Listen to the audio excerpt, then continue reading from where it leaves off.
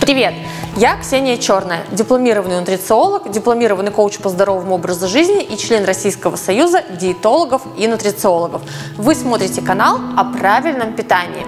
И в этом видео я расскажу о том, как правильно составить рацион ребенка и чем его кормить, чтобы он чувствовал себя энергичным и здоровым. Смотрите видео до конца, ставьте лайки и пишите комментарии, если это видео было вам полезно. А мы начинаем. Питание ребенка – это одна из самых спорных тем, которая беспокоит всех родителей. Здесь участвует очень много факторов. Это и воспитание, и культура в семье самих родителей. Это наше представление о том, чем и как должен питаться ребенок. Сюда же добавляются бесконечные страхи о том, что ребенок что-то не доест, не доберет, не поправится, не дополучит нужных макро- и микроэлементов. При этом многие родители справедливо беспокоятся, когда его ребенок привередлив в еде и не ест именно те продукты, которые максимально богаты витаминами и минералами, а именно овощи, ягоды и зелень. Давайте в самом начале зафиксируем очень важный вывод многих исследований. На 70% пищевые привычки ребенка зависят от семьи. Ошибочно полагать, что виноваты садики и школы в том, что ребенок не ест правильные белки, жиры и углеводы. Все-таки это ответственность родителей. В самом начале важно понять, кто и за что отвечает во взаимоотношениях с едой. Родители отвечают за то, что ест ребенок, когда и где. Мы же не разрешаем есть ребенку на полу, на диване или в своей комнате. И точно так же родитель должен регулировать режим питания. Ребенок же отвечает за то, хочет ли он есть эту еду и наелся ли он. Абсолютно неправильно с точки зрения родителей доказывать ребенку, что он должен доесть всю еду до конца и есть даже то, что ему категорически не нравится. Какие основные ошибки совершают родители на первых этапах знакомства ребенка с едой? Одним из главных факторов, формирующих плохие отношения ребенка с едой, является однообразие вкусовых предпочтений в первый год жизни. Родители очень часто переживают о том, какой прикорм нужно вводить и ограничивают ребенка в текстурах и во вкусовом разнообразии. Родители боятся вводить большое количество специй, которые им были самим непривычны. Например, корицу или ваниль. Помимо однообразия вкусов, родители очень часто рано сдаются, предлагая ребенку новый продукт. Согласно большому количеству исследований, необходимо предложить ребенку новый продукт не менее 10-12 раз. Но, конечно же, родители сдаются уже после трех попыток и ставят клеймо на этом продукте, что мой ребенок это не ест. Как предотвратить преждевременное старение и большинство хронических заболеваний, которыми страдает каждый второй? Конечно, изменить питание и пищевые привычки. От питания зависит вся наша жизнь. Если вы хотите привести тело и разум в порядок, справиться со стрессом и напряжением, я приглашаю вас на свой бесплатный мастер-класс «Пирамида женской красоты и здоровья». Ссылку вы найдете в описании к этому видео. Вторая ошибка – это пищевое поведение самих родителей. Если родители не привыкли завтракать и демонстративно говорят, что я завтракать не люблю и не хочу, то почему ваш ребенок должен завтракать с удовольствием? Специалисты по детскому питанию считают самым важным аспектом формирования пищевого поведения – это привычки самих родителей. Исследования показывают, что те дети, которые сидят со взрослыми за одним столом и пробуют максимальное количество разнообразной пищи, имеют в будущем более богатый рацион. Уже с одного года ребенок может есть практически все продукты, которые едят родители. Естественно, при условии, что родители едят здоровую еду. Старайтесь, чтобы ребенок принимал пищу совместно с вами. Таким образом, вы будете пробуждать интерес ребенка к еде. Третья важная ошибка, которую совершают многие родители, это навязывают свои стереотипы. Когда кто-то из родителей не любит определенную еду и демонстрирует это ребенку и говорит, ой, я не понимаю, как ты будешь есть сейчас это брокколи. Четвертая и часто совершаемая ошибка – это когда взрослые родители или бабушки пытаются четко регулировать, что и когда есть нужно ребенку. Я думаю, что многие из вас слышали эту фразу «пока ты не доешь всю еду до конца, ты не получишь свою конфету». Так делать, конечно же, не нужно. Таким образом, вы повышаете значимость награды и снижаете ценность самой еды. Исследования показывают, что использование сладости в качестве награды за то, что ребенок доел какую-то здоровую еду, в дальнейшем приведет к пищевому расстройству ребенка и избыточной массе тела. Давайте подведем итог. Что же не стоит делать, если мы хотим сформировать здоровые отношения ребенка с едой? Не обсуждать в присутствии детей их негативные отношения с едой. Не нужно класть те продукты, которые ребенок категорически не ест, в одну тарелку с продуктами, которые он любит. Таким образом, ребенок может отказаться есть абсолютно все продукты в этой тарелке. Не стоит использовать еду в качестве награды или успокоения ребенка. Например, доешь свой суп, получишь шоколадку. Или вот ты расстроен, давай пойдем купим тебе мороженое. Не стоит ругать ребенка во время приема пищи за то, что он не хочет что-то есть. Это сформирует в дальнейшем негативные ассоциации у ребенка с приемом пищи. И, наверное, самая глобальная ошибка, которую сейчас совершают современные родители, это приучают есть ребенка за гаджетами. При просмотре мультиков, телевидения, лишь бы ребенок все съел. В данном случае не о чувственном насыщении, не о развитии вкусовых рецепторов, ни о каком осознанном питании речи идти не может. Какой же идеальный рацион должен быть у ребенка дошкольного и младшего школьного возраста? Конечно же, это три основных приема пищи и два перекуса.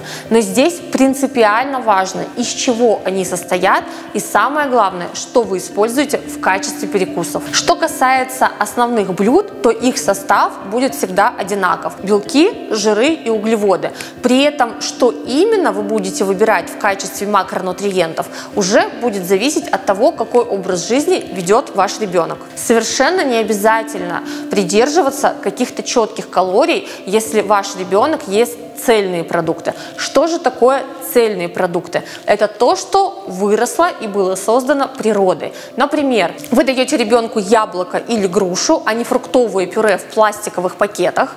Вы даете ребенку цельные зерна, например, гречку, рис, а не какой-то пшеничный батон с сахаром. Или предлагаете ребенку рыбу или птицу, а не полуфабрикаты в виде колбас. Я уже не говорю о категорическом исключении всех покупных продуктов с консервантами, которые, к большому сожалению, сейчас используют родители с первых месяцев жизни.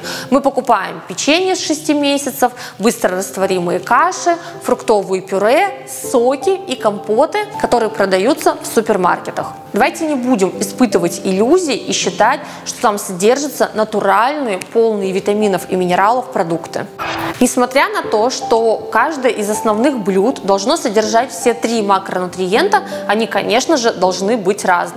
Например, если вы готовите на завтрак ребенку овсяную кашу долгого приготовления с добавлением куриного белка, топленого масла и тыквы, и в обед вы используете суп на костном бульоне с овощами и киноа, это все полноценные приемы пищи, состоящие из трех макронутриентов – белков, жиров и углеводов, но, конечно же, они принципиально отличаются. Итак, давайте поговорим подробно, что же за три главных макронутриента, из которых вы должны составлять каждое основное блюдо. Конечно, это белок. Что у нас относится к белку? Это животный белок и белок растительный. К животному белку относятся яйца, рыба, морепродукты, мясо, субпродукты и птица.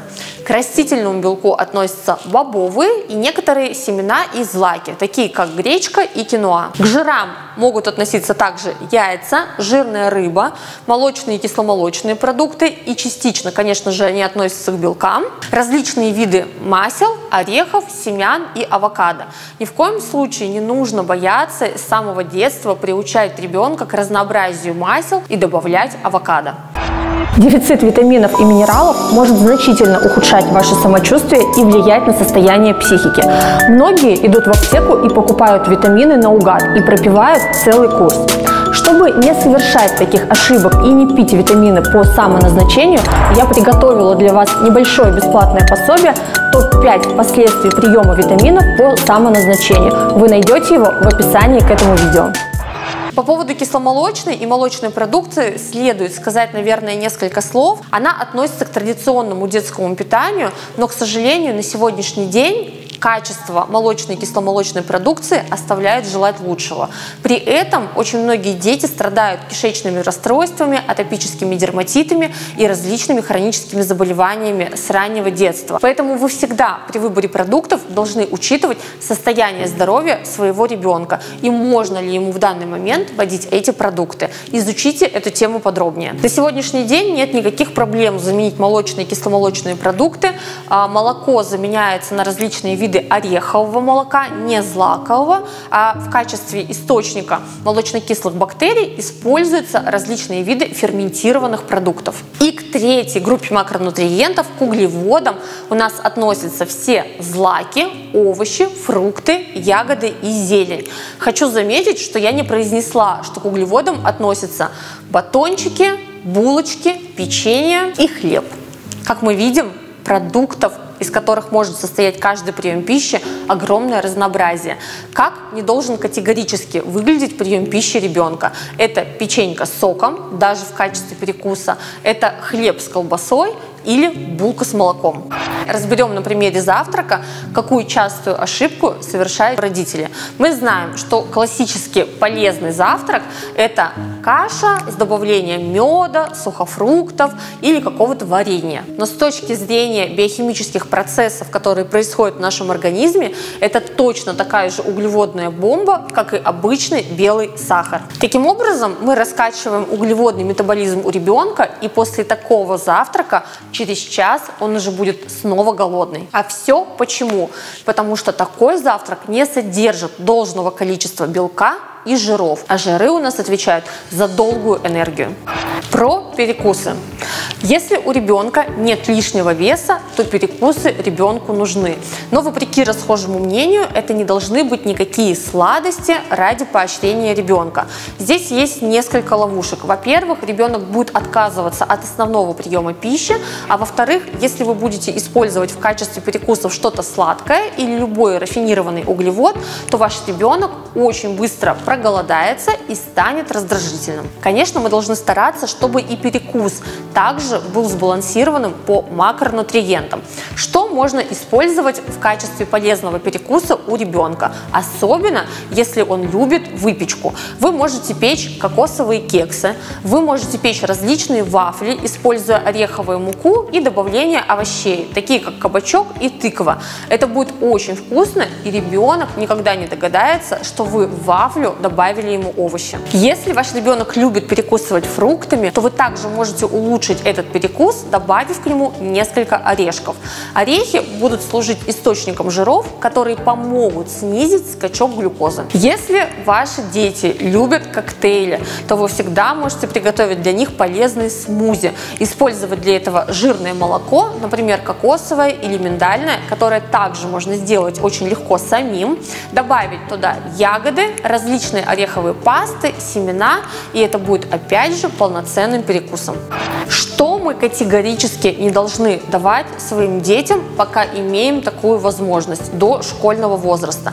Конечно же, это все виды сахара и покупные сладости. Что мы делаем собственными руками, покупая ребенку такие продукты? Если вы с самого детства будете приучать ребенка карамелькам, покупным батончикам, конфетам и добавленному сахару, то для вашего ребенка никакие, даже самые сладкие фрукты не будут вкусными и не будут приносить столько удовольствия, сколько добавленный сахар. Вы должны помнить, что любая углеводная рафинированная пища, такая как пицца, макароны или булочки в любом случае в организме метаболизируются до глюкозы, даже если она изначально не имеет сладкий вкус. Давайте подведем итоги. Мы должны с вами приложить максимум усилий с самого раннего детства, чтобы ребенок ел вкусно, разнообразно и получал максимум питательных веществ. Ребенок не может пойти в магазин и сам себе купить сок и конфеты. Это делаем мы с вами, а также наши ближайшие родственники. Поэтому давайте не будем приучать детей с самого раннего детства к рафинированным углеводам, которые в дальнейшем приведут к развитию большинства заболеваний. Подписывайтесь на наш канал и не забывайте нажимать колокольчик, чтобы получать уведомления о выходе новых видео и узнать еще больше полезных советов о питании взрослых и детей.